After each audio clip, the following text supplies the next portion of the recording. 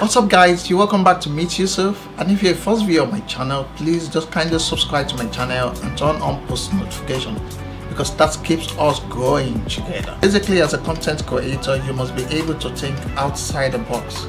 A friend of mine was having his wedding and I decided to make a little video about the hotel We Lush. Though this hotel contains so many things, but I wanted to make a full footage of this hotel that we lost, but there was no time because we have to prepare for the wedding is a standstill. Five minutes before six this morning is hell of traffic. Did you see what is happening now on the road?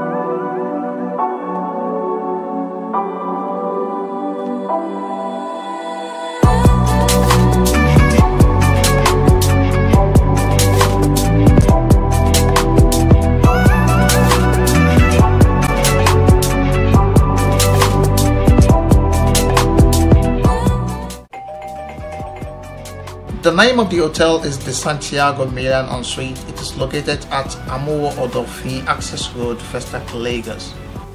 Though this hotel contains so many things and I wanted to make a full footage of this hotel but there was no time because we have to prepare for the wedding.